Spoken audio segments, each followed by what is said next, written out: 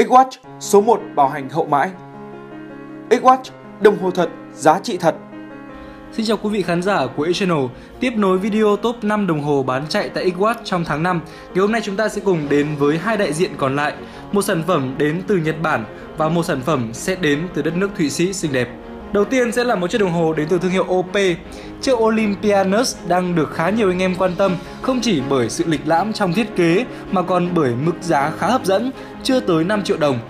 Đó chính là chiếc OP có mã là OP993 6AGST. Đi từ ngoài vào trong thì có thể thấy tông màu chủ đạo của chiếc OP này là màu trắng bạc, sáng bóng, sang trọng.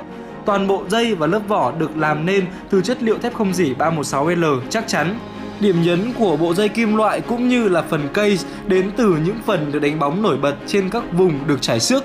Đây cũng là kiểm màu ưa thích của cá nhân tôi bởi vì lớp vỏ và dây mạ demi thì ờ, vẫn có mang tới một cái sự chín chắn và hơi già so với tuổi. Đi sâu hơn vào phần mặt, điểm làm nên vẻ đẹp cho mỗi chiếc đồng hồ thì có thể nói đây là phần ờ, mặt khá là sạch sẽ khi mà không có nhiều các chi tiết thừa. Các con số về thời gian được loại bỏ gần hết trên mặt nền trắng là những mốc giờ viền kim loại sáng bóng. Ở mỗi mốc giờ là một phần phủ dạ quang khá lớn nên sẽ giúp cho người dùng dễ dàng xem giờ trong điều kiện thiếu sáng. Bộ kim cũng được làm cách điệu theo kiểu ở chia phần và cũng được phủ dạ quang khá nhiều. Phần kim dây có lẽ sẽ là điểm hút mắt nhất khi được sơn đỏ và làm nổi bật trên nền các chi tiết trắng bạc khác. Với các thông số thì ờ, sai size mặt của chiếc OP này là 40mm, một kích cỡ phổ thông và hợp với nhiều chu vi cổ tay khác nhau của các anh em. Mặt kính được sử dụng là mặt kính sapphire chống xước, rất hời cho những anh em khi giá của chiếc OP này chưa tới 5 triệu đồng. Ở cỗ máy bên trong là NH36A được nhập từ à, thương hiệu Seiko có 24 chân kính cùng với mức sai số ổn khoảng từ 10 cho đến 20 giây trên một ngày. Và đây cũng là một cỗ máy chất lượng ngang ngửa với dòng 4R in-house của Seiko nên anh em có thể hoàn toàn yên tâm về chất lượng máy móc. Ở ngoài ra thì à, cỗ máy này cho phép lên cót bằng tay và dừng kim dây khi chỉnh giờ. Rất tuyệt vời với một sản phẩm có giá hơn 4 triệu đồng phải không ạ? Và đại diện cuối cùng trong top 5 bán chạy của X-Watch sẽ là một sản phẩm đến từ đất nước Thụy Sĩ chứ danh. Chiếc đồng hồ Tissot Couturiner T035 410 Có thể nói đây là một kiểu thiết kế mặt khá mới đến từ thương hiệu Tissot. Chiếc Couturiner này thuộc dòng Classic dòng sản phẩm nổi tiếng bởi những thiết kế cổ điển lịch lãm nhưng mà khi nhìn kỹ vào phần mặt thì có thể thấy sự cổ điển này dường như đã được thay thế bởi những chi tiết góc cạnh và sắc nhọn. Bộ kim được làm thon và vót nhọn ở phần đầu. Phần kim dây không được làm cách điệu kiểu chữ T ở đuôi mà thay vào đó là một phần nhỏ có đánh logo của hãng. À, điểm bắt mắt nhất ở mặt số này đó chính là việc khoảng trống giữa các mốc giờ với nhau được lấp đầy bằng các chi tiết góc cạnh làm từ thép không dỉ sáng bóng. Điều này giúp cho mặt đồng hồ không bị quá trống cũng như là giúp cho ánh nhìn được tập trung vào phần trung tâm, có phần tối giản khi mà không có nhiều chi tiết quá phức tạp. Với các thông số chi tiết thì à, uh, Tissot có size mặt là 39mm, rất vừa vặn với chu vi cổ tay khoảng từ 16cm trở lên.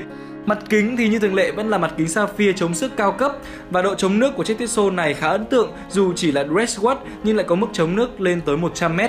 À, điểm trừ có chăng là việc phần dạng quang quá nhỏ khiến cho chúng ta khó mà xem giờ trong điều kiện ờ, là trời trời tối? Đó chính là về phần thiết kế mặt. Còn về tổng thể thì uh, chiếc Tissot Couturiner uh, vẫn được uh, giữ lại cho mình một sự tinh tế và lịch lãm trong thiết kế qua việc chọn một phần case sạch và có màu bạc đồng nhất với các chi tiết phía trong mặt số. Bên cạnh đó, đó là bộ dây da với tông màu nâu cùng họa tiết da cá sấu, sang trọng cùng với tổng thể chiếc đồng hồ và có phần cổ điển hơn và sẽ rất phù hợp cho các anh em đeo trong các sự kiện à, lịch sự hay là đơn giản hơn khi đeo đến các cơ quan công sở. Về cỗ máy bên trong thì à, do đây là dòng có mức giá bình dân khoảng 10 triệu của Tissot nên cỗ máy được sử dụng là máy quát có mã hiệu là ETA F06161 với 3 chân kính Cỗ máy khá phổ biến của ETA có mức sai số ổn khoảng 10 giây trên một tháng. À, cùng với đó là tuổi thọ pin lên tới 68 tháng, tức là khoảng à, 5 năm. Khá ấn tượng với một chiếc đồng hồ chuẩn Thụy Sĩ có giá 10 triệu phải không ạ? Trên đây là phần 2 của video top 5 mẫu đồng hồ bán chạy trong tháng 5 tại Xwatch. Các anh em thấy sao?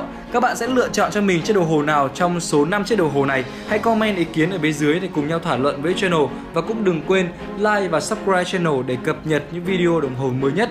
Link sản phẩm cũng như là thông tin chi tiết của hai chiếc đồng hồ này sẽ được đính kèm ở phần comment và phần mô tả video. Anh em hãy cùng chú ý đón xem. Còn bây giờ, xin chào và hẹn gặp lại. Bạn đang theo dõi Channel, kênh review đồng hồ số 1 tại Việt Nam. Để cập nhật tất cả những video mới nhất và vô cùng hấp dẫn này của Channel thì hãy nhấn vào nút subscribe. Còn bây giờ thì xin chào và hẹn gặp lại.